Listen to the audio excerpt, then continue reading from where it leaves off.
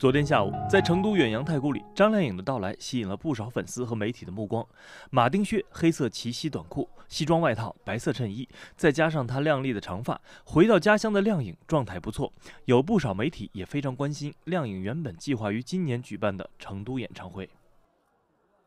我觉得到要要做的时候再说吧，现在。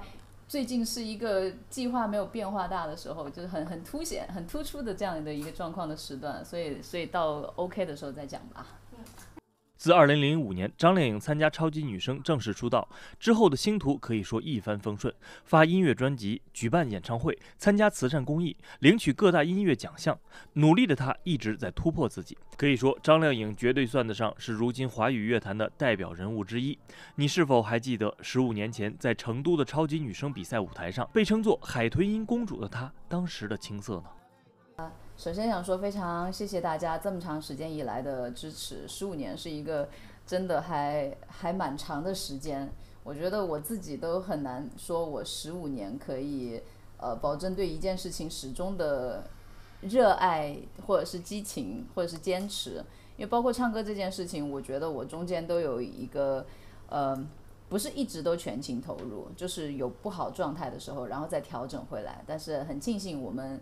呃，相处了十五年，所以期待更长的时间可以跟大家继续，呃，分享音乐。然后我现在也觉得不只是执着于音乐了，就是有什么样的想法都可以分享。作为成都人，张靓颖从没忘记为成都贡献自己的努力。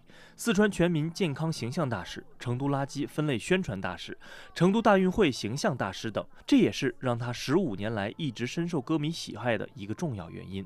不过，其实，在生活中，张靓颖是一个大大咧咧、开朗随意的女生。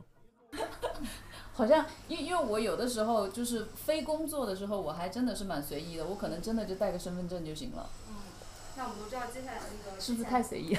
更多精彩新闻直播，下载看度新闻。